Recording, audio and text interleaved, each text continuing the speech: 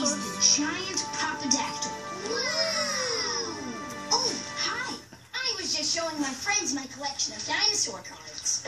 Oh, is he back? Oh, and I've even got a long neckosaurus. Whoa, you must have a card for every dinosaur there is. I sure do. Uh-huh. A Poposaurus Rex card. A Poposaurus Rex? What's that? Only the most amazing dinosaur ever is as tall as a building with a long spiky tail and huge sharp teeth. Whoa, how sharp. Very sharp. I've got to get a Poposaurus Rex card. It's the only card I don't have. To be a little difficult, dear boy. No one has ever got close enough to a P-Rex to take its picture. Then I'll be the first one to do it. Come on, Quack. I can't do this without my best buddy.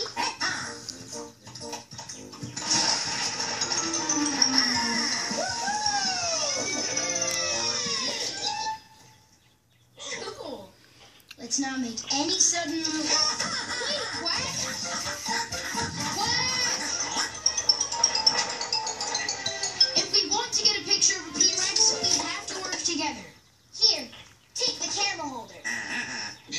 you can even find a P-Rex. Huh? Ah, dinosaurs aren't just walking around on every page of the book.